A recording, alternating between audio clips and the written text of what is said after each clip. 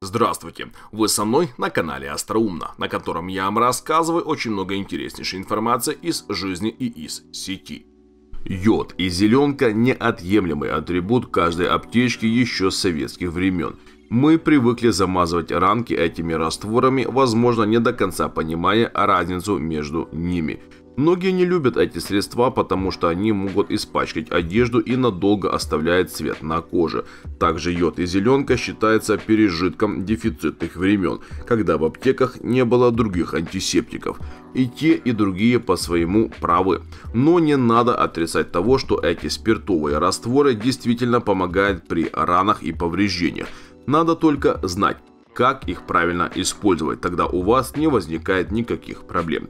Сегодня мы расскажем вам, когда применять йод, а когда зеленку. У каждого из этих растворов есть свое предназначение и глупо утверждать, что это одно и то же. Простые рекомендации облегчат вам жизнь. Итак, поехали, дорогие друзья.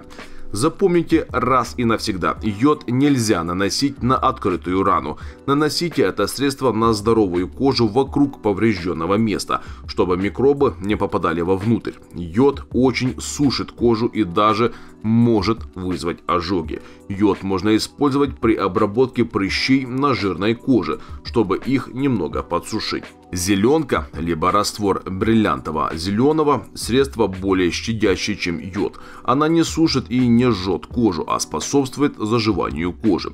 Зеленку можно наносить на открытую рану. Ею можно смело пользоваться, если у вас чувствительная кожа и не бояться ожогов. Еще одно преимущество зеленки перед йодом это то, что она предотвращает нагноение в ране, поскольку она препятствует попаданию влаги в рану извне, а также перекрывает доступ анатомическим жидкостям. Стоит напомнить о том, что йод и зеленка предназначены для заживления неглубоких повреждений. Если рана глубокая, то максимум, чем вы можете помочь себе, обработать ее перекисью водорода, чтобы устранить загрязнение, а потом обратиться к врачу. Не надо наливать туда цветные антисептики, так как новый окрас кожи усложнит осмотр врачам, которые будут предоставлять вам помощь. А как вы используете йод или зеленку?